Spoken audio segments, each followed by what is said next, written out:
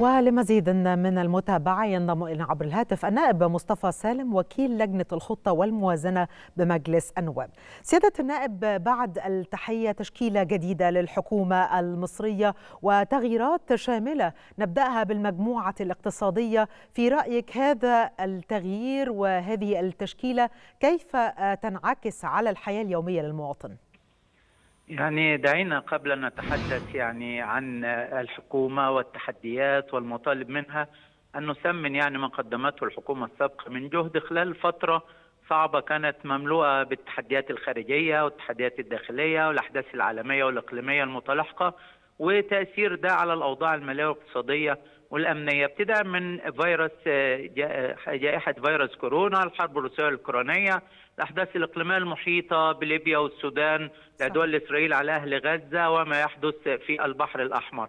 يعني هناك أمال كثيرة تنعقد على الحكومة الجديدة لكن علينا أن ندرك أن الحكومة الجديدة أمامها تحديات جسام يعني تواصل العمل في ظل كل التحديات التي ذكرناها على الحكومة الجديدة أن تقوم بتغيير استراتيجية العمل بتبني فكر جديد.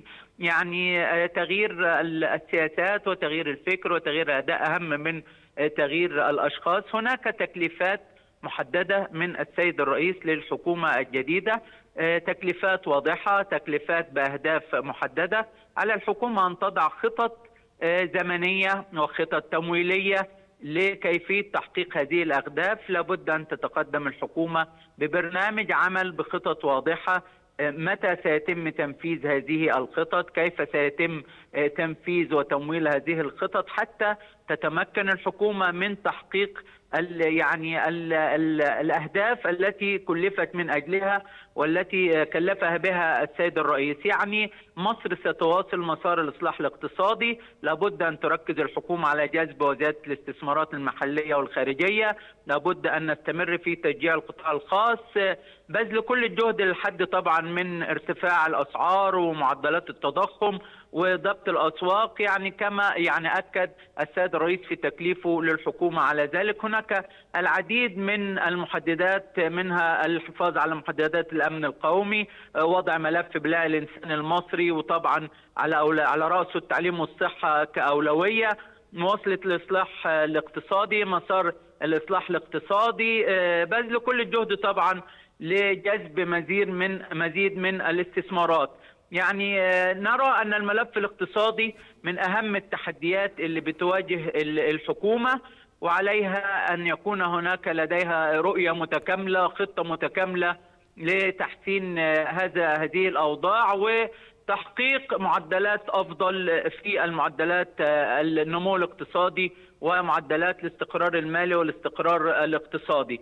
الحكومة عليها أن تستهدف مضاعفة القطاع الخاص يعني مستهدف أن إحنا نوصل لنسبة 65% عليها أن تذلل كل التحديات اللي بتواجه تفعيل دور القطاع الخاص زيادة مساهمة القطاع الخاص في الناتج المحلي الإجمالي خلق فرص عمل جديدة زيادة الاستثمارات رفع معدل التصدير من خلال يعني تمكين الصناعة هناك توجيهات واضحة من السيد الرئيس بتمكين الصناعة والاهتمام بالزراعة نعم. الظروف السابقة يعني فرضت علينا أو يعني بيانت لنا أنه من المهم أن يكون لدينا اكتفاء ذاتي في النواحي الزراعية والصناعية. كنا نواجه مشاكل الاستيراد بشكل كبير خاصة فيما يتعلق بمستلزمات الإنتاج وده أثر تأثير كبير على الصناعة. يعني لا يجب أن نهتم أكثر بملف تمكين الصناعة وملف الزراعة نحقق منه يعني اكتفاء ذاتي قدر الإمكان حتى لا نواجه المشاكل التي سبق أن واجهناها. هناك ملف أيضا مهم جدا وهو ملف السياحة يعني السياحة صحيح. تعتبر من أهم موارد مصر الاقتصادية على الحكومة الجديدة أن تستهدف تعظيم نمو السياحة المصرية من خلال عدة عوامل ومن خلال عدة الإجراءات لرفع معدلات إيرادات السياحة صحيح. أخيرا يعني مجلس النواب متكاتف مع الحكومة لتحقيق المرجو منها نحو الوطن ونحو المواطن. مجلس النواب بيقوم بدوره على أداء الحكومة بيستخدم أدواته الرقابية. نتعاون مع الحكومة في كل التشريعات المطلوبة لتحسين الأداء وتمكينها من العمل بشكل جيد. صحيح. سيادة النائب آليات جديدة للتيسير وأيضا للتكامل في الحكومة والتشكيلة الجديدة للحكومة المصرية من هذه الآليات دمج بعض الوزارات، رؤيتك لهذا الدمج وأثره في عمل الحكومة فيما بعد. يعني أنا أقول لحضرتك إني أنا كنت من أول الناس اللي بتطالب بده في مجلس النواب لجنة الخطة والموازنة في مجلس النواب كان لها توصيات عديدة في تقاريرها المختلفة في السنوات الماضية على الحساب الختامي للدولة. كنا بنطالب بإعادة دمج بعض الوزارات حتى تتكامل الرؤى تتكامل الأهداف وحتى لا يكون هناك يعني تنازع أو تناقض بين اختصاصات الوزارات والهيئات المختلفة. فده طبعا بداية جيدة دمج عدد من الوزارات مع بعضها ونستهدف خلال المرحلة المقبلة دمج عدد من الوزارات الأخرى. ده كله بيؤدي إلى تحسين الاداء بيؤدي إلى ترشيد الإنفاق بيؤدي إلى تكامل الرؤية بيؤدي إلى تحقيق الأهداف بشكل أفضل وتكامل العمل بشكل أفضل بين الوزارات المختلفة. نعم.